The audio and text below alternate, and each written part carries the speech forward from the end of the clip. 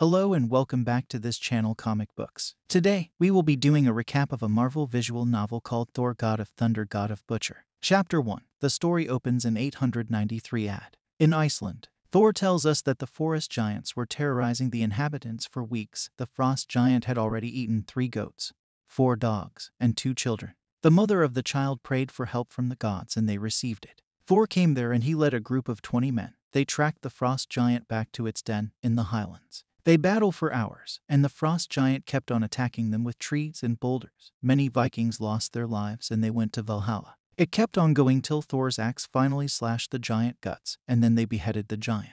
Thor says that this all happened four days ago, and in the last four days he has been living in this village. He has already eaten more goats than the frost giant, and he had drunk enough meat in these four days that it would be enough to drown several sailors, and he had made love with more than half of the women of this village. The Thor introduces himself and says that his name is Thor Odinson. He is the god of thunder, prince of Asgard, and the heir to the throne of the realm of Eternals. He loves his life. But soon they hear a cry of a young girl, and Thor thinks in his mind that he hopes that it was another frost giant. The young girl comes running towards Thor and says that there was a devil man in the water, and she saw its face. As Thor and his men run towards the lake, an old woman says to them that the girl was telling the truth. There is someone in the lake or whatever is left of that person. She tells Thor that red chunks have been washing up on the shore for hours. As Thor and his men see the body, one of Thor's men says that this poor guy must have fallen off the ship when he was sailing and he may have hit some rocks. Then he asks the others to confirm if this man was from Thyr village or not. Another guy looks at the dead boy and says that he is not from this village. The old woman asks Thor what he sees in the eyes of this dead man.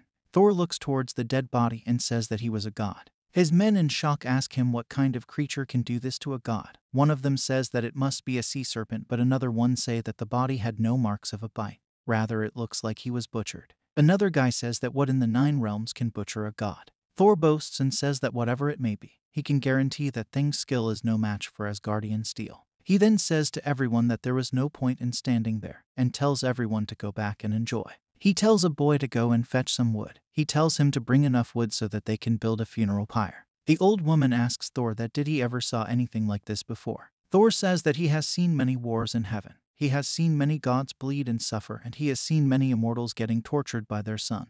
But he never saw anything like the fear that he can see in this dead god's eyes. After hearing this, the woman starts to pray, and Thor asks her what god she prays to. The woman answers by saying all of them. Then, in the present day, a little girl on the planet Indigar prays to Thor for rain on her barren world. Thor appears and conjures a great rainstorm and breaks the ground, revealing underground water currents. Thor is invited to feast with the little girl's people and tells them stories of the wonders of Asgard. After the festivities, Thor asks one of the elders why the little girl did not pray to their gods. The elder informs Thor that Indigar does not have any gods. When Thor questions this, the elder tells him that there are old stories about gods from long ago who lived in the sky, but that no one believes those stories anymore. Thor goes to investigate and finds a palace in the sky. He searches the many rooms but finds no sign of life. After entering a room with a chained door, he finds the corpses of all the gods of Indigar. He notes that since Godflesh rots slowly, they've been dead for hundreds of years, and whoever did this took great pleasure in the act. Thor is attacked by a lizard like creature and suddenly realizes that the killer of these gods is Gorr the God Butcher, someone he faced over 1,000 years ago in Iceland. Many millennia from the present, a broken down, old Thor with one eye and one arm sits on the throne of an empty Asgard. Thor curses the silence of the empty Asgard and resolves that if he is to die, he will die in battle. He calls for someone to bring him his arm, before remembering that there is no one to do so. Armed with Mjolnir and the Odin sword, Thor leaps into a horde of lizard like creatures and vows the death of Gorr the God Butcher. Chapter 2 In the year 893 AD, inside the great weapons hall of Asgard, Thor attempts to lift Mjolnir but is unable to do so. Hefting his axe, Jarnbjorn vows to one day make the hammer his and set sail on a longship into the Baltic Sea alongside a crew of Norse warriors. As fog closes in, the Vikings grow uncertain, but Thor boasts of his superior senses, not noticing a shadowy figure watching from the mists standing on the surface of the water. One of the Vikings spots it and is terrified, but by the time Thor turns around, the figure has vanished. Recalling the dead Native American god, Thor suppresses his concerns and tells the Vikings to shut up and keep rowing. However, Thor cautions the captain to row slower until the fog passes. Emerging from the mist, a pale skinned figure, naked save for a cloak of living darkness, secretly follows, eager to hunt Thor and his kin. Three days later, on the banks of the Neva River, Thor and the Vikings face off against a group of Slavic warriors. The Viking chief is eager for battle and plundering, but Thor tells him to stand down as he wants to speak to their gods. Addressing the Slavic warriors, Thor challenges their gods to combat. The Slavs boast boasting of the combat prowess of Perun the Storm Lord and Chernobog the Black. Another Slav calls out that their gods are coming as a winged horse swoops from the sky. The Slavs are confused by Perun's divine steed appearing without its rider, Thor giving the Vikings leave to attack while he investigates. Noticing the horse is spattered with blood, he mounts it and flies into the clouds, which are spattered with flecks of divine blood. A second winged horse flies towards him, the headless corpse of Chernobog still astride its back. Annoyed at his fun being ruined, Thor wonders whether the Slavic gods killed each other before dismissing the possibility, disquieted by the sensation that he's being hunted. Watching from the clouds, the black cloaked godslayer transforms his right arm into a blade of living darkness, decapitating Perun's horse in a single strike. As Thor falls, the godslayer, his cloak transformed into wings, plunges after him, declaring that Thor now knows the fear of mortality and will soon learn what it feels like to be butchered. Turning in midair, Thor grabs onto Chernobog's flying horse, knocking the corpse off, and charges towards the godslayer, who mocks his bloodlust. Thor introduces himself to his opponent, who declares his intent to slaughter the entire pantheon.